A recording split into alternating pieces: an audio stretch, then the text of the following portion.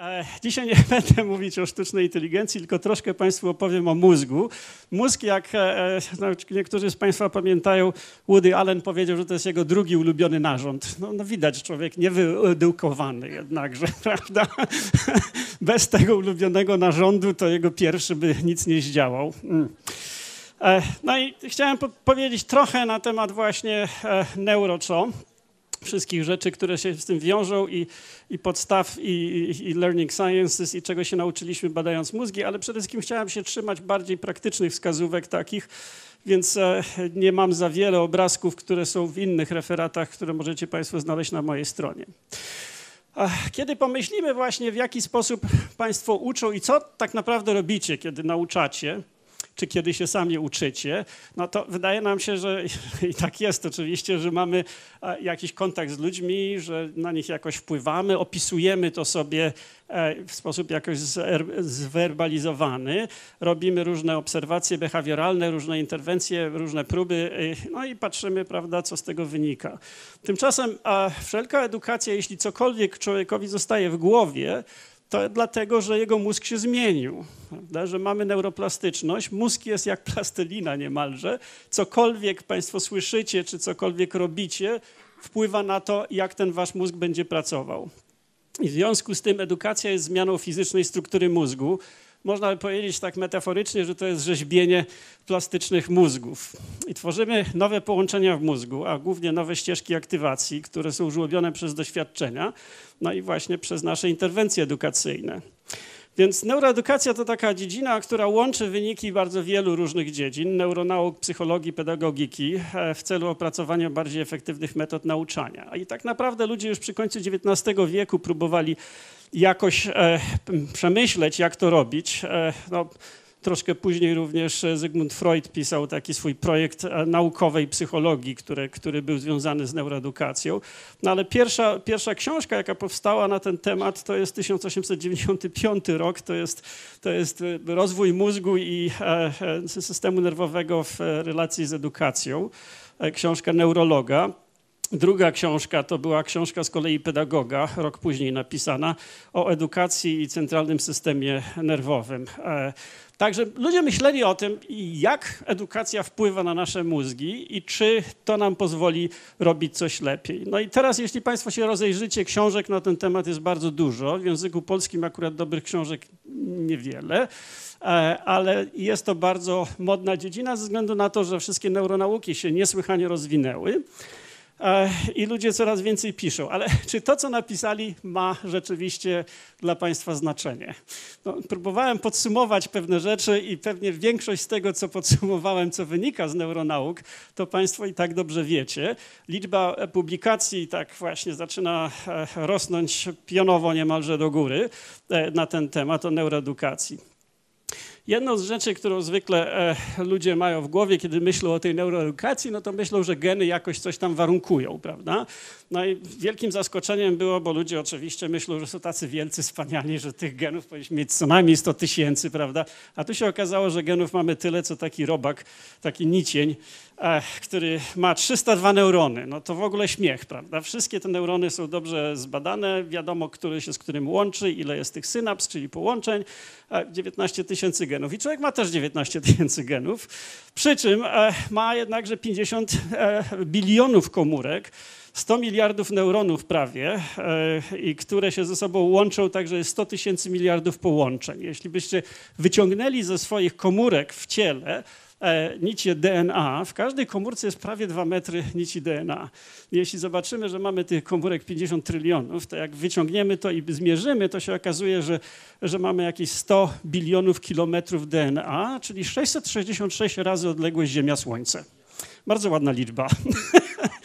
I można naprawdę znaleźć mnóstwo innych rzeczy, takich, które pokazują, jak niesłychanie złożonym organizmem jest nasz organizm, ale też organizm każdego zwierzęcia, który jest mniej więcej naszych rozmiarów. Ze względu na liczbę komórek i procesy, jakie. Jeden gen na przykład jest w stanie wyprodukować kilkadziesiąt tysięcy różnych białek przez taki proces, który się nazywa alternative splicing. Zapomnijmy o, tej, o, te, o, tym poziomie molekularnym, e, ale to po prostu pokazuje, że nie ma co liczyć na to, że jest jakaś cudowna pigułka, która wyreguluje nasz organizm, który będzie działać w, w cudowny sposób jakoś, prawda? A Dlaczego jesteśmy w stanie myśleć i się uczyć? Dlatego, że różne obszary mózgu ze sobą współpracują i każde, nawet najprostsze działanie, takie jak ruszenie palcem, aktywuje z 50 różnych podsieci, czyli różne obszary mózgu ze sobą muszą rozmawiać. Żeby rozmawiać, muszą być połączone. Żeby połączyć się, no to musi się jakieś połączenie utworzyć, prawda? Więc mózgi są, kiedy, kiedy patrzymy na te połączenia, no to widzicie Państwo właśnie, że mózgi muszą być włochate. Prawda? Niektórzy są łysi, ale też mają włochate mózgi, to akurat, to akurat nie znaczy, że, że ich mózgi e, nie, nie, są takie, ale mózgi gładkie, no to mózgi, które nie funkcjonują, prawda? Są różne choroby takie, które powodują, że te mózgi się nie rozwijają. No i często się mówi o genetycznym determinizmie. Nie ma niczego takiego jak genetyczny determinizm. Się okazuje, że, że jak e, przebadano 126 tysięcy e, ludzi, żeby zobaczyć, czy geny jakoś determinują na przykład to, czy oni osiągną jakieś edukacyjne poziomy wyższe, to się okazuje, że korelacja to jest rzędu 2%. To w ogóle żadna korelacja i nie da się za pomocą genów przewidzieć nawet czegoś takiego jak autyzm, czyli poważnych zaburzeń. E, mamy tysiąc genów związanych z autyzmem, a z tego około 10 do 20%, w zależności od tego, na jakim poziomie się, e, e, się, się, na to patrzy, to, to są geny, które potrafią coś wyjaśnić na temat autyzmu. czyli, czyli 80% przypadków autyzmu w ogóle się nie daje połączyć z żadnymi genami. Natomiast możemy mówić o tym, że nasza aktywność neuronalna, którą nazywamy neurodynamiką, coś się zmienia dynamicznie, dynamicznie się wszystko teraz zmienia, jak Państwo słuchacie wiadomości, prawda? Więc e, w naszym mózgu ciągle się coś zmienia dynamicznie, bo się neurony nam pobudzają, wysyłają impulsy. Neurodynamika określa to, co nam przychodzi do głowy. Nie wiem, kiedy ostatnio Państwu przyszło do głowy jakieś fajne równanie dotyczące teorii superstrun. Komuś przyszło do głowy? No nie. Najpierw musimy coś do tej głowy włożyć, prawda? No i, i to jest zasadnicze, zasadnicze zadanie dla państwa. Ja muszę powiedzieć, że zaczynałem jako fizyk i fizyka to jest naprawdę prosta nauka. My jesteśmy w stanie zrobić eksperyment, dobrze określić warunki, to jest powtarzalne. Jak się robi eksperyment typu nauczanie człowieka, to jest niepowtarzalne. I to, cośmy przed chwilą widzieli o tym, że e, e, nie powinniśmy oczekiwać rezultatów, jeśli robimy to samo w koło, że rezultaty będą inne. No wiemy, że one są inne. Prawda? Ciągle się warunki zmieniają, ciągle się ludzie zmieniają, z którymi mamy do czynienia. Robimy to samo, na jednych działa, na innych nie działa. To jest, czyli krótko mówiąc, to, co wy próbujecie robić, to jest nieskończenie bardziej złożone niż to, co robią fizycy czy chemicy. To jest, dla mnie to było w każdym razie wyzwanie, jak się zacząłem zajmować mózgiem, który jest najbardziej złożoną strukturą w znanym wszechświecie.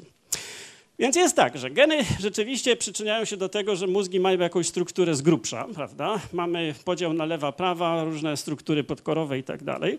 Budują mózgi i ciało, ale to środowisko decyduje o tym, jak to będzie działać. I to środowisko zmienia nasze geny poprzez procesy epigenetyczne, ale też bezpośrednio się okazuje, zmienia dużo rzeczy w genetyce. Więc można powiedzieć tak metaforycznie, że umysł to cień aktywności mózgu, bo, bo, mózg robi mnóstwo rzeczy, o których ja nie wiem, prawda? Na przykład napina w tej chwili setki mięśni i powoduje, że się nie przewracam, prawda? E, ale e, to, co ja jestem, czego mogę być świadomy, to jest jedynie drobny wycinek. No i ludzie kilkanaście lat temu zaczęli myśleć, jak to w ogóle się daje podejść czy zrozumieć. No i doszli do wniosku, że właściwie tak, no są procesy na poziomie e, molekularnym, tego co się dzieje gdzieś tam z synapsami, e, tego co się dzieje jeszcze niżej z różnymi cząsteczkami. No i są procesy na poziomie całego człowieka, czyli od nanometrów do metrów miliard stopni e, niejako, czy skalę, skalę, która się zmienia miliard e, razy do góry, prawda? Podobnie od, od pikosekund do no, no, 100 lat, powiedzmy, prawda? Czyli procesy starzenia. Rzeczy są niesłychanie skomplikowane. Psychiatrzy zaczęli przede wszystkim badać to na różnych poziomach i powiedzieli, no to co my robimy, to damy ludziom jakieś środki, jakieś leki i mamy nadzieję, że to zadziała na poziomie tutaj na białka, a potem obserwujemy zachowanie. A co się naprawdę dzieje pośrednio, to nic nie wiemy, prawda? No i nagle zaczęli się interesować tym, jak to zrobić w pełni i stąd po, po, pojawiła się taka taka dziedzina, którą się nazywa fenomiką neurokognitywną, bardzo mądrze. Fenomika, bo to jest po prostu opis, a neurokognitywna, no bo dotyczy poznania i neuronów. No fajnie. I to jest dziedzina w powijakach. To jest coś, co no, uczniowie, których Państwo macie, może zaczną porządnie rozwijać, bo na razie mamy same dziury w tej naszej wiedzy o tym, jak to wszystko się ze sobą łączy, jak to działa. Jak wiadomo, e, mężczyźni różnią, e, czy, czy dorośli różnią się od dzieci tym, e, jakie kto ma zabawki i ile one kosztują. No, zabawki, które my używamy i które próbujemy użyć, żeby zrozumieć, co się dzieje nie wnikając w ten poziom molekularny, chociaż niektórzy moi koledzy to robią, ale to w ogóle jak działa ta neurodynamika, no to są takie zabawki jak na przykład rezonans funkcjonalny 10 milionów złotych, prawda, e, czy e, e, magnetoencefalografia też bardzo droga. Akurat nie ma takiego urządzenia w Polsce. E, no ale dużo rzeczy z EEG robimy i z, z różnymi innymi rzeczami. No i teraz mamy e, różne e, bardzo aktywne projekty na świecie, które usiłują zrozumieć, co się z czym w tym mózgu łączy, czyli jak wygląda nasz konektom. I się okazuje, że od tego konektomu, od tego, jak się różne obszary mózgu ze sobą łączą, powiedzmy, podzielimy sobie ten mózg na 100 kawałków, a może, może na tysiąc nawet, prawda? I będziemy patrzeć, który z którym przesyła między sobą informacje. Okazuje się, że prawie wszystko, co się z nami dzieje, to zależy od tego, jaki się nam konektom utworzył. A ten konektom się utworzył z powodów no, tysiąca różnych rzeczy, prawda? Różnych przeżyć w dzieciństwie, edukacji, a jeszcze wcześniej właśnie e, procesów rozwojowych jeszcze e, e, przed narodzinami i różnych genetycznych procesów, prawda? Więc Mamy w związku z tym próby określenia tego, co się z czym łączy i coraz lepiej nam to wychodzi. No i dzięki temu wiemy wiele rzeczy o tym, co musi w mózgu zajść, żebyśmy na przykład mogli cokolwiek usłyszeć czy zrozumieć, prawda? Pobudza nam się kora słuchowa. Bardzo skomplikowany sposób, bo zanim to dojdzie, od, od, ucho jest w ogóle dziwnym narządem, jak wiemy, zanim to dojdzie do tej kory słuchowej, fajnie, pobudza nam korę słuchową, następnie ten, te, te, te obszary okołosłuchowe, następnie tutaj inne obszary i przez taki długi pęczek łukowaty pobudza nam rzeczy. Kora słuchowa jest w, w, w obszarze e, skroniowym, pobudza nam również obszary, które są w e, korze czołowej, które kiedy mówimy, to się nam pobudzają, czyli krótko mówiąc, to, co słyszymy, pobudza nam troszkę ten wewnętrzny głos, to, co, to, co mówimy. Prawda? Jest e, bardzo wiele modeli i szczegółowa wiedza o tym, jak to wszystko działa. No jak to się teraz przekłada na nasze możliwości zrozumienia, jak się ludzie uczą? No, to wszystko zależy od tego, jaki kto ma ten konektom i czy rzeczywiście jest w stanie się czegoś nauczyć. Jeśli poważne zaburzenia mamy, to ludzie teraz badają już od, od, takiego prenatalnego okresu, od 20 tygodnia ciąży. E, Brytyjczycy zaczęli patrzeć, jak się ten konektom rozwija i co się w mózgu z czym łączy. No to okazuje się, że ludzie, którzy są wysoce kreatywni, e, używają takich e, silnych kanałów przesyłania informacji pomiędzy obszarem na, na, na szczycie głowy, czyli ciemieniowym, i tym, który jest całkiem z przodu, czyli tym przedczołowym. Natomiast ludzie, którzy są mniej kreatywni, e, no to głównie e, no, prawda, w pionie to ta informacja wędruje pomiędzy obszarami słuchowymi, czuciowymi, e, również wzrokowymi do pewnego stopnia. Prawda? A, czyli jesteśmy w stanie zrobić taką indywidualną no, analizę tego, jak co się człowiekowi w mózgu łączy i na tej podstawie określić niejako jego zdolności poznawcze do pewnego stopnia.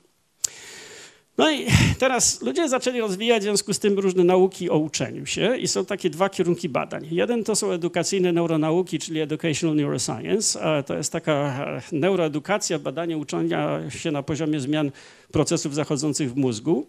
No i też się rozwijają nauki o uczeniu się, czyli learning sciences. Ja pracowałem długie lata w Singapurze i tam mieliśmy taki, taki instytut, e, National e, e, Education Institute, który właśnie nie miał pedagogiki, ale miał coś takiego jak nauki o uczeniu, prawda? Czyli no, bliższe może tradycyjnie pedagogice, ale głównie się skupiające na metodach psychologii kognitywnej, społecznej, kulturowej, badające wpływ różnych innowacyjnych procedur, takich jak to wpływa na nasze mózgi. Niemniej, na razie nie mamy za dobrych metod badania tych mózgów. Pokazałem Państwu różne drogie zabawki, które nam już dużo powiedziały, ale trzeba pamiętać, że, że te badania są bardzo ograniczone. Po pierwsze, wiele badań się robi na zwierzętach, zwłaszcza jeśli chodzi o ten poziom molekularny. To się nie zawsze daje uogólnić.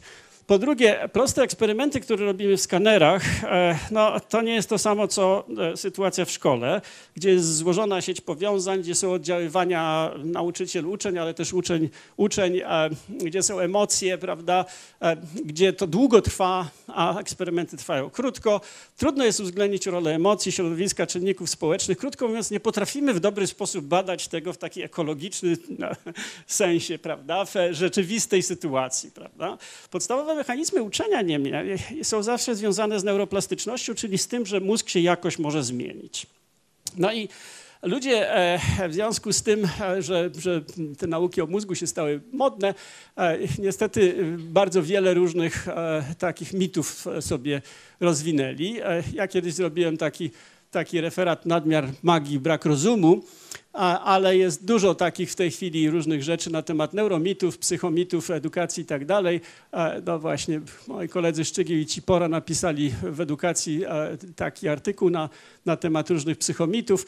No jeden z nich to jest taki, używamy 10% swojego mózgu. Bardzo bym się cieszył, gdyby tak było, bo bym te 90% mógł w końcu zacząć używać, ale to jest, to jest jeden z tych znanych mitów i no właśnie, jedna czwarta nauczycieli w Polsce w 2014 roku uważała, że tak jest, ale też innych krajach, e, w niektórych nawet połowa. E, mówi się często o dominacji lewej czy prawej półkuli mózgu. Bardzo często to się bierze jako wyjaśnienie, które ma wyjaśnić różne uzdolnienia uczniów. E, są różne metody podejrzane, bo nie ma dowodów na to, że one działają, e, tak jak programowanie neurolingwistyczne, dość popularne w Polsce, czy gimnastyka mózgu, e, czy też bardzo krytykowane są preferowane style uczenia się, takie, że no, ludzie są nastawieni na słuchowy, kinestetyczny albo wzrokowy typ uczenia, co, co no, nie znaczy, że, że niektórzy nie mają rzeczywiście preferencji, prawda? Lepiej jest stosować bardzo różne metody interakcji. No i lista błędów poznawczych jest bardzo długa. Ja tu Państwu zamieszczam to, to, to żółte, to znaczy, że są tutaj linki takie, a, a, cała prezentacja jest na mojej stronie, więc możecie Państwo sobie poklikać w linki, bo jest dużo rzeczy, o których po prostu nie zdążę wiele powiedzieć.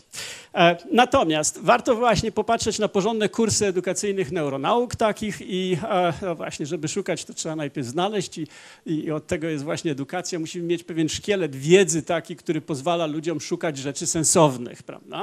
E, jest, jest kilka bardzo fajnych kursów takich, na które można popatrzeć dość, dość dokładnie. Finowie w tym również przodują, mają taki zespół Illuminati Open Educational Resources. Są różne kursy darmowe, różne e, materiały do tego, prawda, kursy typu e, tych masowych, e, prawda, internetowych kursów, taki, czyli MOOCów na temat neuronauki w edukacji. No i w związku z tym możecie Państwo sami troszkę poszukać, a ja spróbuję podsumować pewne rzeczy. Jest świetny artykuł Luisa Kozolino. To jest taki, taki a, psycholog, ale, ale taki neuropsycholog z Kalifornii. Kilka jego książek jest po polsku i naprawdę gość jest bardzo ciekawy. E, e, ten artykuł się nazywa właśnie, ops, nie w tą stronę poleciałem, e, Artykuł się nazywa Nauki społeczne, neuronauki w, w edukacji.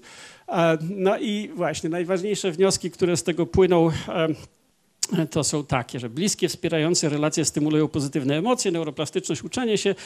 Mózg jest organem społecznym, co jest dość oczywiste, prawda? Więc uczymy się poprzez relacje z innymi ludźmi i one wpływają na to, jak nasze mózgi działają. Wczesne uczenie jest bardzo ważne. Wiele rzeczy się zdarza rzeczywiście w pierwszych latach życia, w szczególności jeśli chodzi o samokontrolę, o e, reakcje emocjonalne, o różne cechy, które się tworzą, e, na których dopiero się uczymy, jak już one się dość utrwalą, uczymy się różnych E, rzeczy konkretnych. Dwa mózgi w, w jednym czasami ludzie wyróżniają, czyli to, że lewa i prawa e, półkula troszkę inaczej działa, ale też dwie różne funkcje, na przykład to, że właśnie część poświadoma działa w sposób równoległy, mnóstwo rzeczy robiąc, a jest też ten e, proces taki bardziej sekwencyjny, seryjny. David Kahneman, który dostał Nagrodę Nobla z ekonomii, napisał taką książkę Pułapki myślenia o myśleniu szybkim i wolnym, która wyszła po polsku, który podsumowuje te idee takie, że mamy właśnie mózg e, seryjny i równoległy. On to nazywa typem 1, typem 2.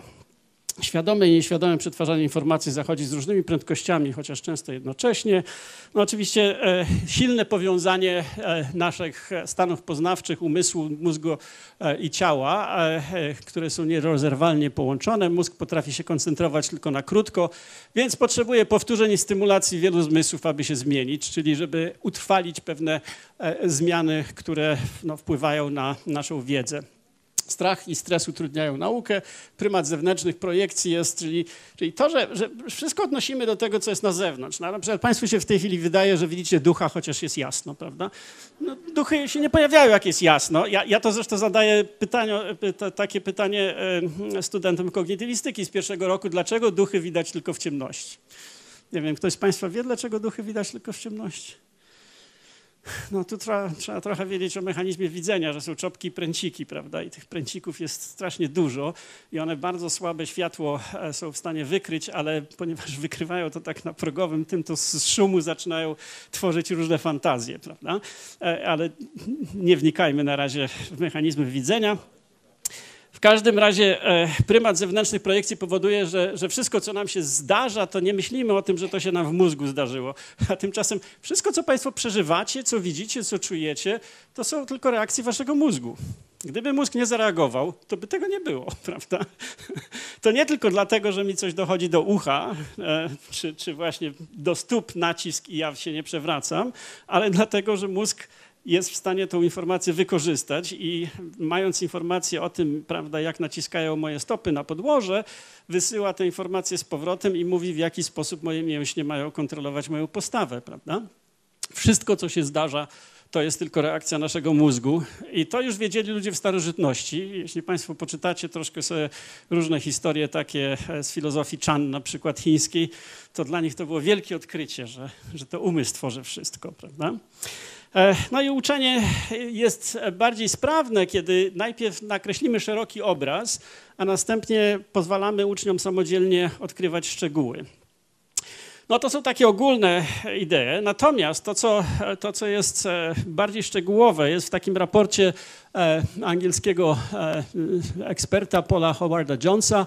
I tutaj czwórka naszych kolegów rozrzuconych po, po, po, po Europie w tej chwili, e, e, przetłumaczyła to jako e, raport Neuronauka i Edukacja, przegląd interwencji i podejść edukacyjnych korzystających z osiągnięć neuronauki.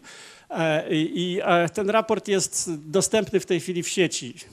Ja trochę pomagałem żeśmy tam dopisali nowsze rzeczy, bo raport jest już, już ma parę lat. A, a w tej dziedzinie bez przerwy się coś dzieje i trzeba było podopisywać różne rzeczy. Także cały raport pod tym linkiem możecie Państwo e, spróbować no nie działa. E, e, dobrze, ale, ale jeśli będziecie w internecie, to możecie tam spróbować nacisnąć.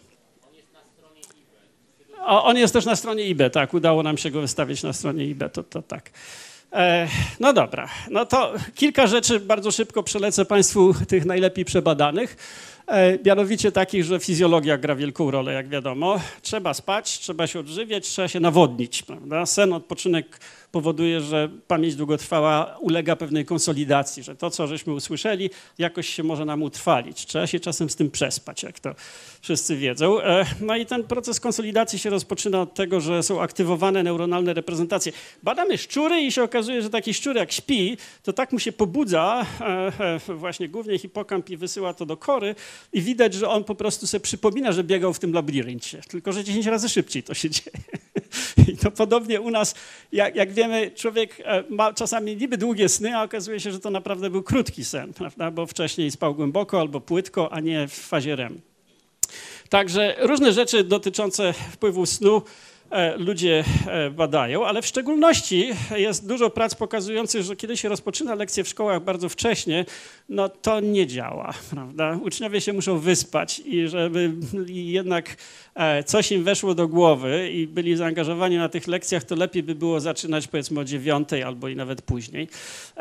No, kofeina dość mocno wpływa również na E, na, na, działanie mózgu. To jest jedyna substancja psychoaktywna, którą dzieci spożywają, bo 500 ml butelka coli to tyle, co filiżanka kawy. E, różne czynniki psychospołeczne, biologiczne mogą zakłócać sen i tak dalej. No, sen w każdym razie jest ważny, o, nawodnienie jest też ważne, odwodnienie może powodować obniżenie sprawności poznawczej, a ostatnio są bardzo fajne prace pokazujące, że jak się myszy karmi cukrem, to one głupieją. No bo co się mają wysy, wysilać i szukać jedzenia, jeśli mają dużo cukru, prawda? E, I, I, chyba podobnie jest z ludźmi, aczkolwiek nie ma, badań, nie ma badań tego typu na ludziach. Jak mówiłem, czasami, czasami mamy badania na zwierzętach, które coś sugerują, prawda? A, no a czasami niestety nie potrafimy ich e, e, jakoś uzasadnić czy przenieść. Natomiast inna rzecz, która e, dotyczy fizjologii jest bardzo słynna i może wreszcie Państwo coś takiego widzieli. Otóż no, wydaje nam się, że sędzia, który ma duże doświadczenie, to zawsze podejmie decyzję zgodnie z jakimś tak zwanym swoim sumieniem. No. Ale okazuje się, że jak mamy ośmiu sędziów izraelskich, dwudziestoletni staż pracy, prawda, podejmują tysiąc decyzji, komu, kogo wypuścić e, e, na przepustkę z więzienia, no to się okazuje, że na przepustkę z więzienia, jeśli ktoś akurat jest oceniany z rana, to ma szansę powyżej 70%, że przepustkę dostanie. Ale jak już jest oceniany tak um, koło lunchu, to jego szansa spada do zera.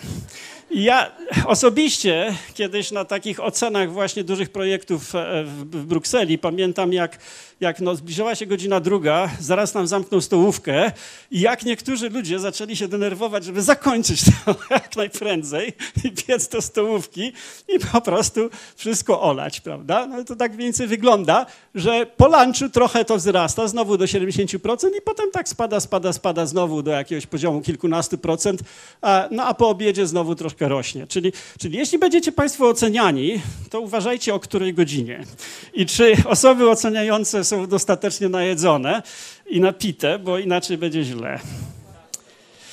No dobra, no różne takie rzeczy dotyczące fizjologii są dość oczywiste. E, dalej, e, jest cała grupa ludzi, którzy badają w jaki sposób to myślenie się odbywa i wiemy, że kreatywność wymaga nieświadomego myślenia, bo po prostu coś nam musi przyjść do głowy, prawda? Dlaczego nam coś przychodzi do głowy? Dlatego, że nasze neurony się mocno pobudzają, dużo jest różnych takich kombinacji, które powstają, ale to, co nam zostaje w tej głowie, no to jest zależne od tego, co już w niej mamy, czyli czy, czy, czy, czy jesteśmy w stanie rozpoznać coś interesującego.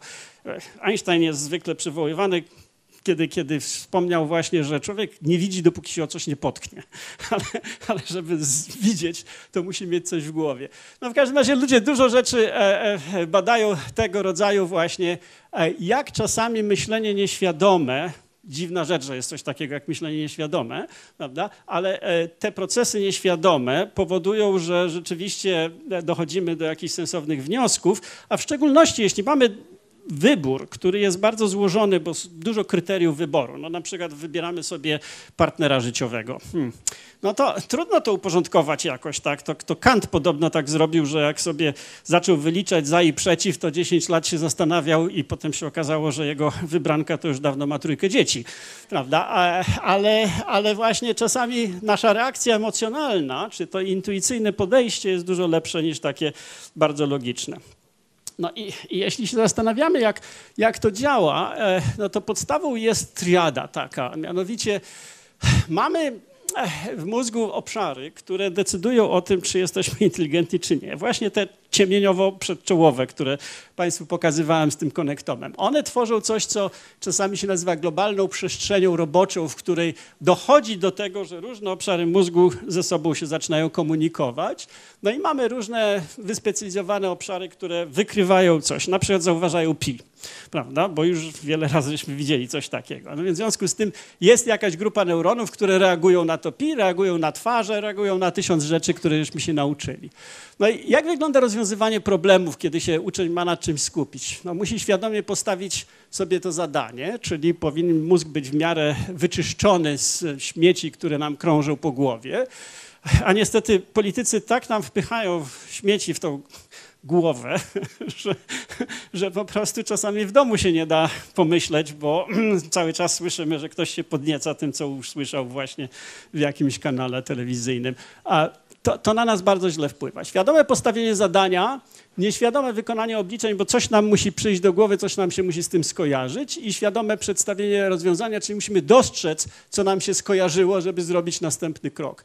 No i w związku z tym myślenie nie wymaga wysiłku, tylko wymaga skupienia. Musimy się nauczyć skupić, wyczyścić umysł i czekać na rozwiązanie, czy na kolejny etap rozwiązania. No i okazuje się, że to jest bardzo uniwersalny mechanizm. Sposób działania mózgu można zawsze podzielić na takie trzy etapy, prawda? I to jest za, we wszystkich przypadkach takie jak szukanie czegoś w pamięci, prawda? Musimy sobie postawić zadanie, czekać aż nam przyjdzie to do głowy i zauważyć, że przyszło.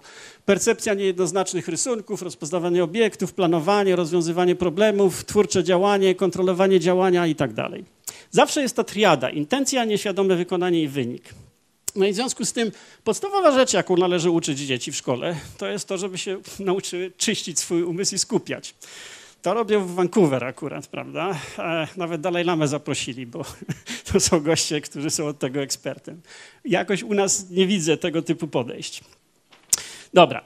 Parę słów o tym, co jeszcze z tego raportu wynika. No wynika, że niektórzy cierpią na arytmofobię, czyli prawda, jak tylko widzą liczby, to im się mózgi wyłączają. Jak, jak czytam niektóre tygodniki polskie, to widać, że dziennikarze nie mają żadnego pojęcia, co to jest liczba, prawda. Cytują jakieś rzeczy, w ogóle kiedyś, kiedyś e, pomagałem ekonomistom, robili prognozy, jak będzie wyglądać rynek komputerowy w Polsce za 10 lat.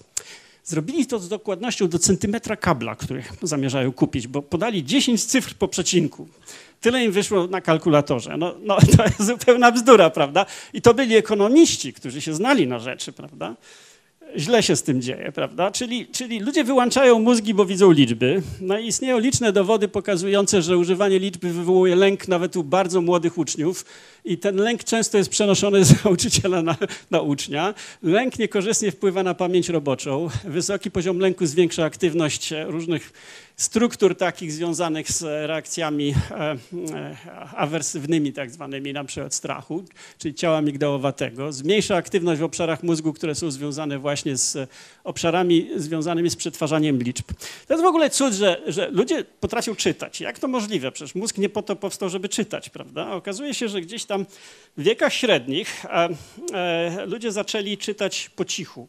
I to jest dopiero gdzieś tam od XI wieku są ślady tego, że człowiek może czytać po cichu i rozumieć, czyli wewnętrzny przepływ informacji wzrokowej, gdzie rozpoznajemy grafemy, czyli, czyli różne znaki takie, e, do e, obszarów, które potrafią e, je złożyć w słowa i następnie wywołać takie reakcje mózgu, że w tych słowach jest sens i rozumiemy, co czytamy, to jest bardzo późne ewolucyjnie. To jest coś, co powstało w wiekach średnich, a wcześniej się okazuje, że ludzie czytali na głos, żeby usłyszeć, co przeczytali i dopiero mogli to zapisać zupełnie zdumiewające. Pewne obszary mózgu się zaczęły specjalizować w złożonych funkcjach takich jak matematyka, czy złożonych funkcjach takich jak czytanie. I jeśli Państwo poczytacie o historii matematyki, no to zanim zero zostało jakoś zaakceptowane, 500 lat minęło, prawda? Zanim ludzie oderwali pojęcie liczby od tego, co liczą, prawda? Jest pięć, pięć dzbanów, ale, ale nie ma pojęcia pięć, prawda? Jest pięć osób, ale, ale i w niektórych językach, na przykład w języku japońskim, w dalszym ciągu do każdego liczebnika przyczepia się taką końcówkę, która mówi, co my liczymy. Zdumiewające, jak trudno było zacząć myśleć abstrakcyjnie. No i o tych lękach trochę można przeczytać w tym raporcie i wydaje się, że są pewne skuteczne interwencje, o których ten raport też wspomina, takie jak na przykład właśnie kontrolowanie negatywnych reakcji emocjonalnych, które poprawia wyniki w testach z matematyki, negatywny wpływ lęku przed matematyką właśnie e, okazuje się, że można ograniczyć, jeśli poprosić uczniów, żeby opisali odczuwane emocje, kiedy mają pisać klasówkę z matematyki najpierw.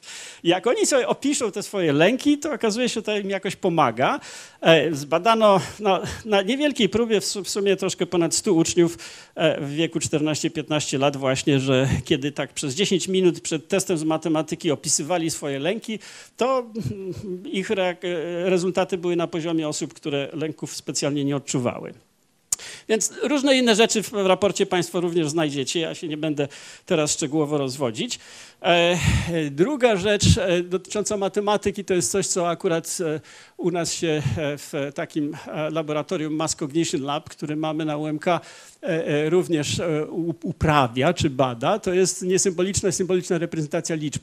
Możemy mieć wyczucie ilościowe. Okazuje się, że takie, takie kurczaki, co się dopiero na, narodziły, już mają wrodzone poczucie ilości. I jak mogą biec w jedno miejsce, gdzie jest więcej, albo w drugie, gdzie jest mniej, to zaczynają się bardzo szybko uczyć, że tam jest więcej, prawda? E, e, no, wyczuwamy pewne rzeczy ilościowe, ale oczywiście e, uczenie się matematyki czy, czy arytmetyki polega na tym, że zaczynamy robić to w sposób symboliczny, prawda? Kiedyś były, kiedyś były na przykład właśnie liczydła czy inne fizyczne urządzenia. No ale w każdym razie e, różne powstają metody takie diagnostyczno-terapeutyczne również dla osób cierpiących na dyskalkulię. E, e, mamy też jakieś programy, które służą diagnostyce, jak i pomagają w uczeniu się osobom, które mają z tym duże trudności. No dobra, są niektóre gry, które wpływają również e, na reprezentację symboliczną i transfer innych umiejętności. Między innymi właśnie to łączenie ilościowych e, prawda, miar różnego rodzaju z, e, z osią taką przestrzenną, czy relacjami przestrzennymi. Gnozja palców na przykład jest też opisana w tym, e, w tym raporcie.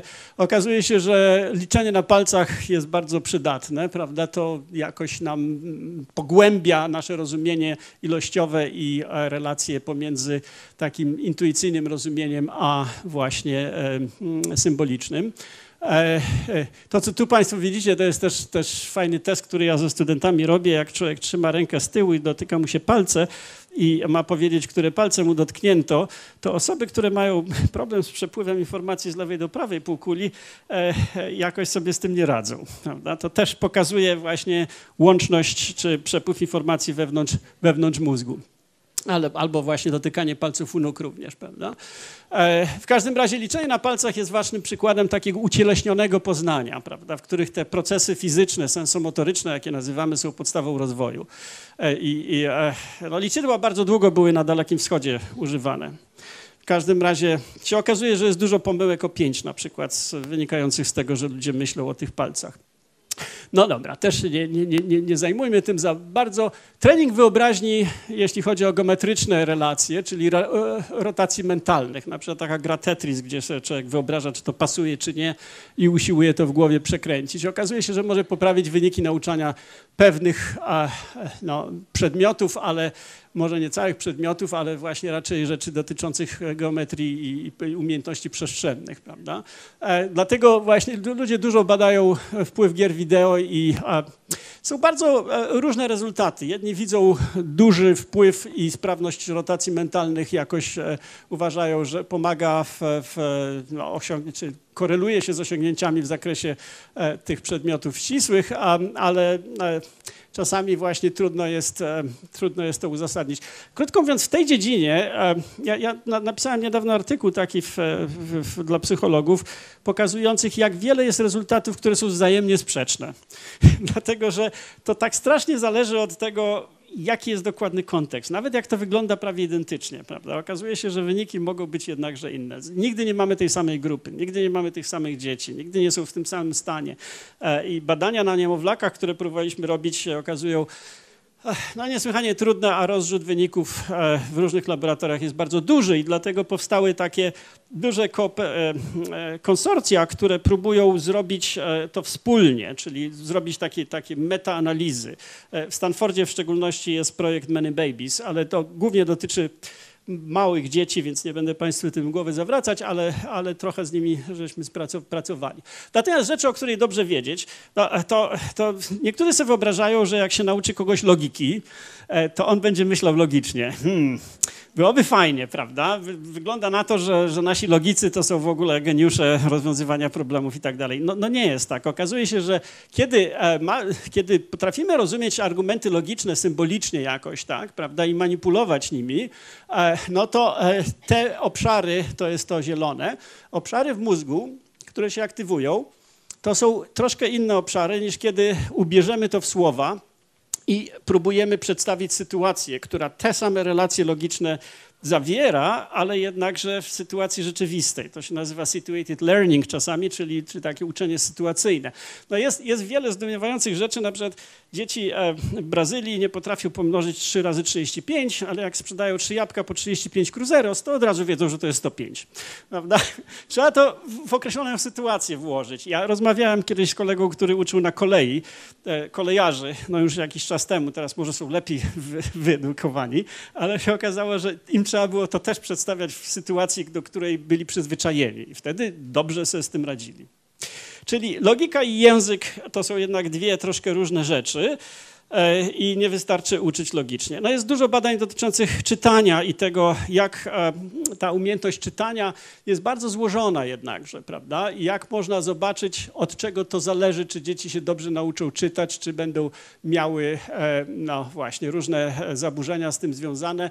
Trochę pokazano właśnie różne treningi dotyczące umiejętności no, słuchu, rozwijania słuchu fonematycznego czy fonologicznych umiejętności różnego rodzaju to, to przynosi poprawę u osób doświadczających trudności w nauce czytania. Czasami są różne, różne takie e, wielokomponentowe, jak się okazuje, e, czyli prawda, różne interwencje, które mają na to wpłynąć.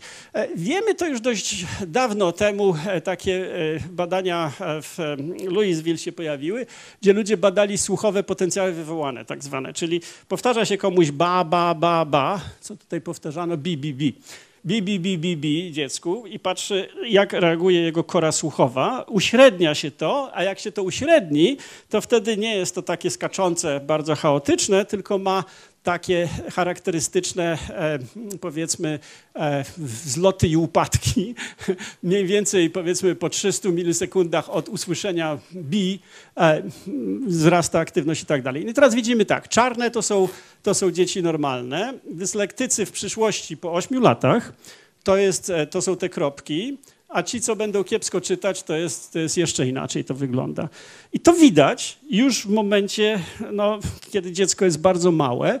W niektórych przypadkach to nawet no, oni badali dzieci takie, które się świeżo narodziły po dwóch dniach od narodzenia i widać, że po prostu za słabo im się rozwinęły, i to, to już genetyka na to wpłynęła, za słabo im się rozwinęły pewne połączenia i to są dzieci specjalnej troski, które należałoby odpowiednio stymulować dźwiękami mowy na przykład, żeby się dobrze nauczyły je rozróżniać.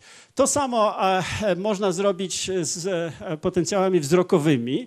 Czyli patrzymy teraz nie, nie na to, co się dzieje w korze słuchowej, tylko w korze wzrokowej. I tam też można badać takie potencjały wywołane i okazuje się, że na przykład e, jak dzieciom pokazywano w szkole średniej różne e, e, mapy polityczne z krajami i nazwami tych krajów, to następnie chciano zobaczyć, czy one to dobrze skojarzyły. Prawda? Czyli pokazujemy teraz mapę bez nazwy, patrzymy, czy one sobie przypomną. No i się okazuje, że, że, że, że dzieci, które były dobrze wytrenowane, no to miały coś, coś takiego po, po, po, trenowaniu, to jest te, które się nauczyły, a dzieci, które nie zapamiętały wiele, no to mają zupełnie inne potencjały. Być może jest to nie taka znowu droga metoda. W dzisiejszych czasach to EG można dość tanio kupić, żeby jednak robić zamiast testów i klasówek po prostu e, prawda, sprawdzać, jak mózgi reagują i, i dobrze. No inna rzecz, ćwiczenia fizyczne. Oczywiście, prawda, jest dużo wyników pokazujących, że pewne ćwiczenia wpływają na ukrwienie i wpływają ogólnie na na, na, wiele rzeczy. Poprawę pamięci przestrzennej, zwiększenie poziomu takiego czynnika wzrostu neuronów, BDNF, prawda? E, e, objętość hipokampa wzrasta na skutek aktywności fizycznej. Dużo dobrych rzeczy, które ćwiczenia fizyczne mogą wywołać, e, czyli właśnie wzmacnianie siły czy szybkości, jakości synchronizacji różnych obszarów mózgu ze sobą, związane z mielinizacją połączeń. E, ale też pojawieniem się nowych połączeń, czyli synapto i nawet neurogenezy. Neurogeneza jest dość ograniczona, ale jednak jest. Bardzo fajne rzeczy zrobił nasz rodak Paul Ziętarski w, w, takiej szkole w Naperville w Stanach Zjednoczonych, gdzie zaczęto e, e, robić 45 minut ćwiczeń fizycznych codziennie No i okazało się, że to bardzo dobrze wpłynęło na wszystko. na matematykę, na, na naukę czytania, prawda? Mieli maszyny do ćwiczeń, jakiś fitness, taniec, rowery i zegarki z pomiarem pulsu i tak dalej. No wyniki, e, tutaj są, prawda, przykłady właśnie tych wyników e, różnych, które można znaleźć. W każdym razie no, sprawny mózg to dobre ukrwienie, transport tlenu, glukozy i w związku z tym ćwiczenia fizyczne są dobre powinniśmy trochę poćwiczyć, bo już Państwo długo siedzą. Także. Dobra, już jeszcze chwila. Uczenie się z przerwami Wiecie Państwo, że to jest ważne. Robienie przerw między kolejnymi sesjami uczenia pozwala uzyskać lepsze efekty niż uczenie się w formie skumulowanej. Efekty przerwy we wszystkich grupach wiekowych się obserwuje, efekty przerwy właśnie podtrzymujące dodatkowe myślenie i tak dalej. Trochę widać to w różnych aktywnościach mózgu, ale znowu przeskoczymy to. Sprawdzanie wiedzy. Się okazuje, że sprawdzanie wiedzy spowalnia stopień zapominania i że lepiej jest tą wiedzę sprawdzać niż tylko ją powtarzać. E, efekt jest silny dla szerokiego zakresu materiału i może to poprawić pamięć dotyczącą przyswojonego materiału. Kilka procesów takich neuronalnych do tego się może przyczynić. Nie wiem, czy, czy ktoś z Państwa korzysta z tych klikerów, czy metody przyciskowej? W Singapurze to, to, byliśmy do tego zmuszeni 10 lat temu, prawda? Ja coś mówię do studentów, a studenci jak czegoś nie rozumieją, to naciskają klik, klik, klik. No to ja się muszę zatrzymać i wrócić i próbować e, e, jednakże to zmienić, to zwłaszcza w tych sieciowych metodach powinno być bardzo dobre. Jest dużo rzeczy słabiej uzasadnionych, takich jak geny, jak mówiłem, ucieleśnione poznanie, e, trening funkcji wykonawczych, e, czyli to, że umiejętności poznawcze pozwalające na kontrolowanie samoregulacji zachowania można trenować u osób dorosłych również, a słabe funkcje wykonawcze utrudniają uczenie się. No, efekty treningu poprawiają sprawność funkcji wykonawczych sporo kontrowersji, jak, jak ze wszystkimi takimi badaniami. Grywalizacja. Będzie jakiś referat na temat gamifikacji, ale grywalizacja, czyli właśnie rywalizacja w grach jest bardzo ważna i tym się nasi studenci też e, bawili, prawda? Ludzie się mocno emocjonalnie rozgrzewają i e, usiłują rzeczywiście ze sobą rywalizować. Wiele gier terapeutycznych jest, jest tego rodzaju, gry w edukacji. Dobra. Kreatywność, złożone procesy, ale pewne, na, na pewne rzeczy możemy wpływać. Okazuje się na przykład, że, e, że szybkość e, mnożenia w prostych eksperymentach znowu, jakie potrafimy tylko zrobić proste, kiedy człowiek słyszy szum biały taki w słuchawkach, wzrasta. Czyli szum trochę pobudza nam układ nerwowy i to pobudzenie wystarcza, żeby pewne procesy szybciej zachodziły. Być może, że, że muzyka, no może, może raczej muzyka instrumentalna, a nie taka, że ktoś coś śpiewa, bo to przeszkadza rzeczywiście, prawda? Bo to odciąga nas od myślenia. Ale muzyka instrumentalna może też e, na niektóre osoby działać pozytywnie. W każdym razie są różne strategie podejścia do tego. No i są, teraz na koniec powiem Państwu o paru metodach takich bardziej zaawansowanych. Mianowicie no, neurofeedback, który może nie jest jeszcze stosowany w szkole i pewnie tak zaraz nie będzie, ale to jest technika, która pozwala nam podejrzeć, co w tym mózgu się dzieje. My nie wiemy, co się w tym mózgu dzieje za bardzo, ale możemy przekształcić, jeśli mierzymy potencjały za pomocą EEG na przykład, albo lepiej, jak mamy parę drutów wciśniętych w neurony, to zaraz Państwu pokażę E, e, no to wtedy e, możemy tą informację o tym, co nasze mózgi robią, przekazać sobie w sposób wizualny albo, albo właśnie w postaci jakiegoś sygnału dźwiękowego, czegoś takiego. No i okazuje się, że taki neurofeedback dość wpływa korzystnie na kreatywność. W szczególności właśnie badano to w nauczaniu muzyki. No i teraz też chcielibyśmy, jak widzimy, że pewne procesy nie zachodzą zbyt sprawnie i nie ma przepływu informacji, moglibyśmy pobudzać pewne obszary mózgu po to, żeby doprowadzić do lepszej synchronizacji, na przykład tych ciemieniowo-czołowych. Okazuje się, że to pomaga ludziom rozwiązywać problemy lepiej. E, pytanie, czy możemy doprowadzić do bezpośredniej stymulacji, poprzez bezpośrednią stymulację neuronów do tego, żeby nam bardziej e, sprawnie mózgi działały. No to by było fajnie. I e, jeśli chodzi o neurofeedback, jest sporo badań. Między innymi jest takie Society for Applied Neuroscience, czyli stosowanych neuronauk towarzystwo, e, które, którego e, szef, no, no, szef mieszka w Londynie. E, I stosując pewną formę neurofeedback, którą się nazywa alfa-teta, osiągnięto znaczącą poprawę poziomu wykonania przez studentów Akademii Muzycznej i Akademii Tańca. Nawet BBC zrobiło film na ten temat, prawda? Wydaje się, że ten neurofeedback, który potrafi wyczyścić umysł przed wykonywaniem pewnych ćwiczeń, czy przed uczeniem się czegoś, ma duży wpływ. Sami żeśmy badali wpływ e, e, takiego, e, takiej formy biofeedback opartej na zmienności rytmu serca na, na coś, co, co, co jest nazywane kreatywnością płynną przez, przez psychologów. Aktywność, na przykład jeśli chodzi o kreatywność improwizacji, znacznie wzrosła w muzyce i tańcu. No i teraz stymulacja może być w różny sposób wykonywana, czyli możemy takimi cewkami wpływać na to, jak mózgi działają, wysyłając impulsy. Mm, mamy taką cewkę, że 5 MW prawda, do niej wchodzi, bardzo silne impulsy.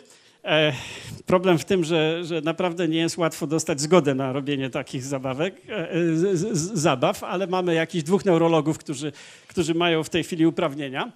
E, jest mnóstwo e, różnego rodzaju metod w tej chwili bezpośredniej stymulacji mózgu. Czy one doprowadzą do tego, że będą szerzej stosowane?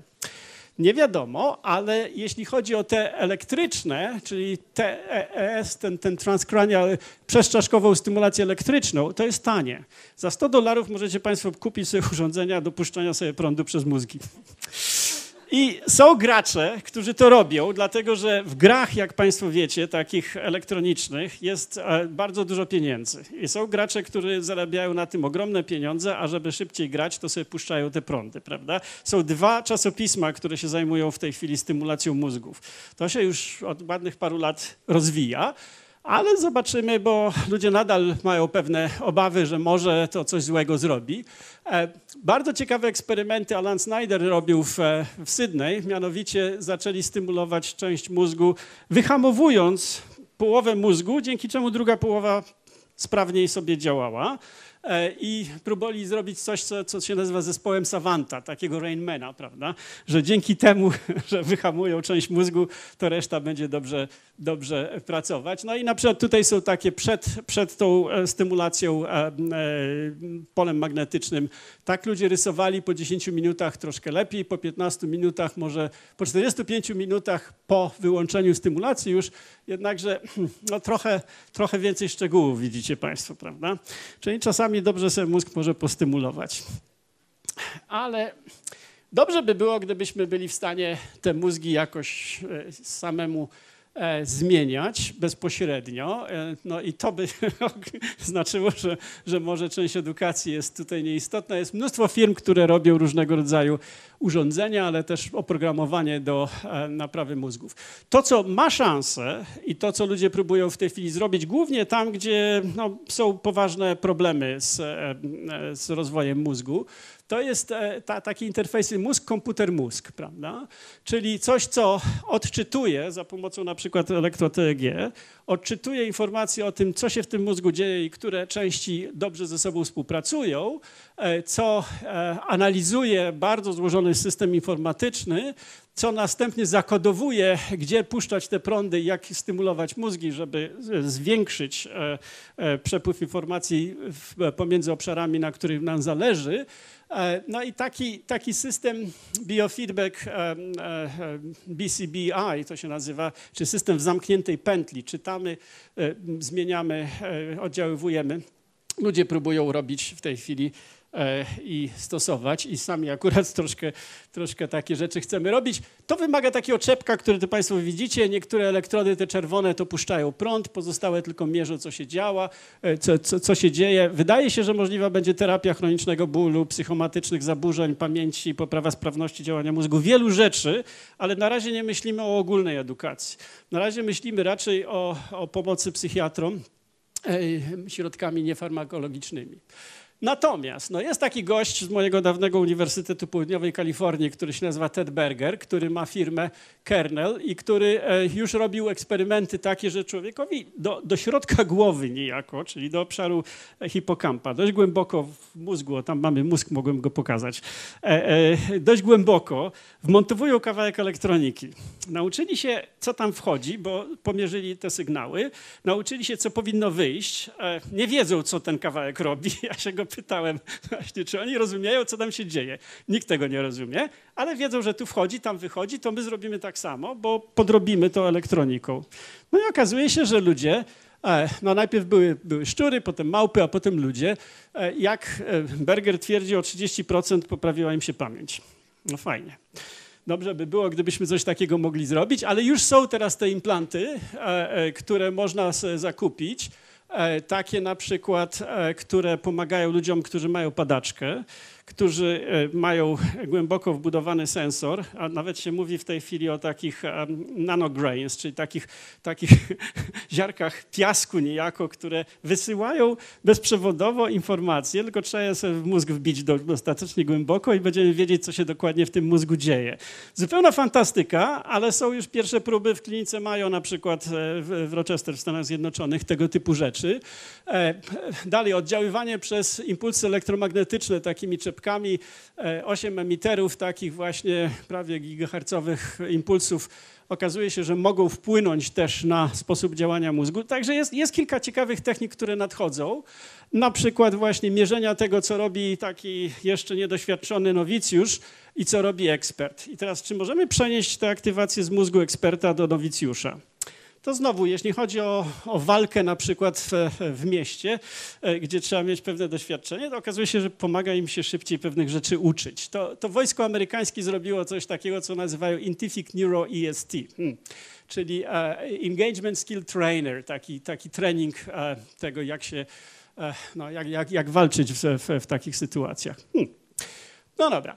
Najdziwniejsze to jest to, że możemy małpie wbudować troszkę nanodrutów, stymulować jej e, korę ruchową i nauczyć ją pewnych czynności. Czyli możemy trenować nasz układ motoryczny, nasz układ ruchowy bezpośrednio, wpuszczając tam impulsy w taki sposób, żeby e, ona się czegoś nauczyła. To jest zupełnie zdumiewające, że wstrzykuje się te e, impulsy, a one są tak słabe, że małpa nie czuje w ogóle, że cokolwiek tam wstrzykiwane. A w tej chwili ludzie robią nanodruty. Może Państwo widzieliście, jak to Elon Musk się chwalił, że on tej świni już taką maszyną do szycia, prawda, wbija te nanodruty masowo. Także na razie robią to na No, no tak. E, e, właśnie, e, e Elon Musk i, i jego Neural Lace, czyli Czyli pomysł taki, żeby dużo ludziom nanodrutów budować. Do tego jest jeszcze dość daleko, żeby zrobić to na ludziach i żeby to miało jakieś skutki, ale e, jest taka agencja Defense Advanced Research Project Agency, czyli DARPA słynna i e, kilka projektów bardzo zaawansowanych takich tego rodzaju wbudowania nanodrutów człowiekowi w głowę się robi. E, w klinice Mayo, jeśli mamy pacjentów ciężko chorych, czy napadaczkę, która jest lekoodporna, potrafią wbić im 300 nanodrutów w głowę. No ale zaraz Państwo zobaczycie, że to się nazywa też Targeted Neuroplasticity Training, czyli jak zmieniać te mózgi bezpośrednio. To są po, pomysły DARPy.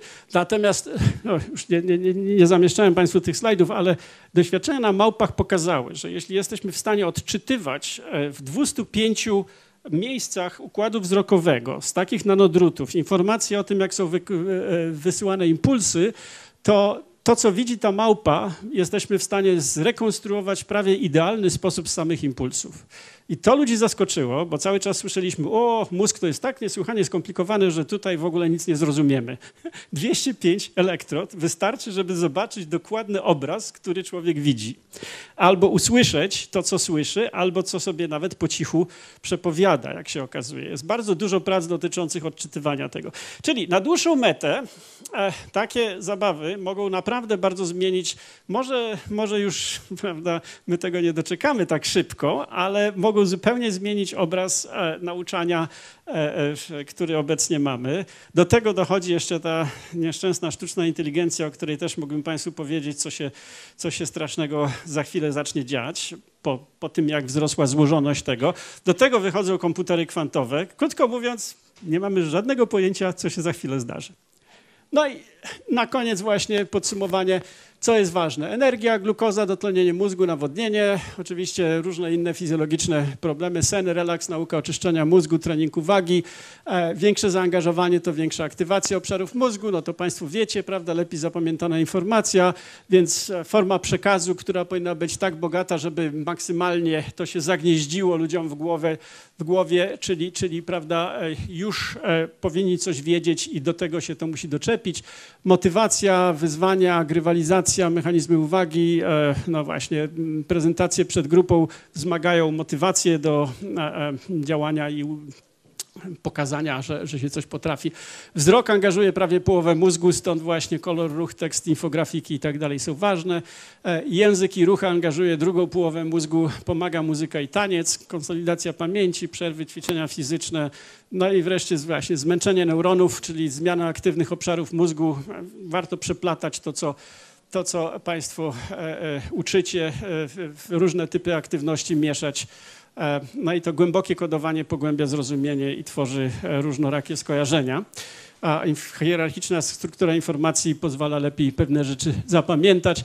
Także uczenie się, formowanie długotrwałej pamięci wymaga dobrego zakodowania informacji, konsolidacja pamięci semantycznej i nawiązanie do zapamiętanej wiedzy i różne inne rzeczy, e, które z tego wynikają.